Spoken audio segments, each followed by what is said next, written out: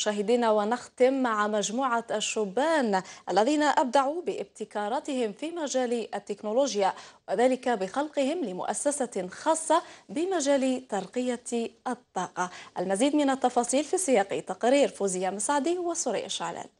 Bonjour, Hydia c'est une jeune entreprise créée par des étudiants motivés et ingénieurs de l'École nationale supérieure de l'hydraulique. هم طلبة طموحين تسلحوا بإرادة قوية لتحقيق أحلامهم وتجسيد ابتكاراتهم في مجال التكنولوجيا حيث تمكنوا بإمكانيات بسيطة من خلق مؤسسة خاصة بهم في مجال ترقية الطاقة.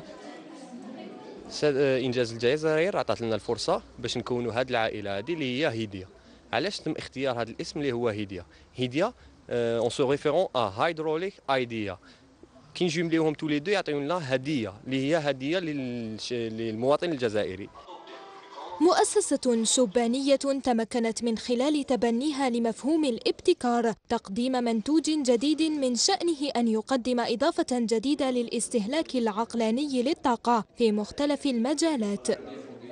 Donc le HKit 35, c'est la première technologie à énergie propre à l'eau. Donc elle nous permet d'économiser jusqu'à plus de 35% sur le carburant. Elle fonctionne avec l'électrolyse de l'eau qui va nous donner de l'hydrogène qui va être utilisé directement par le moteur. Euh, au fait, ce qui est très intéressant et innovant dans notre produit, c'est qu'il augmente euh, la, durée de vie de votre moteur euh, tout en augmentant sa performance. معايير اقتصادية ثقيلة ترجمتها أفكار بسيطة وإرادة قوية لهؤلاء الشباب. فهل سيجدون من يمسك بيدهم ويدعمهم من أجل تجسيد المشروع على أرض الواقع أم أن الهجرة نحو الخارج هي الرفيق الدائم للشباب المبدعين؟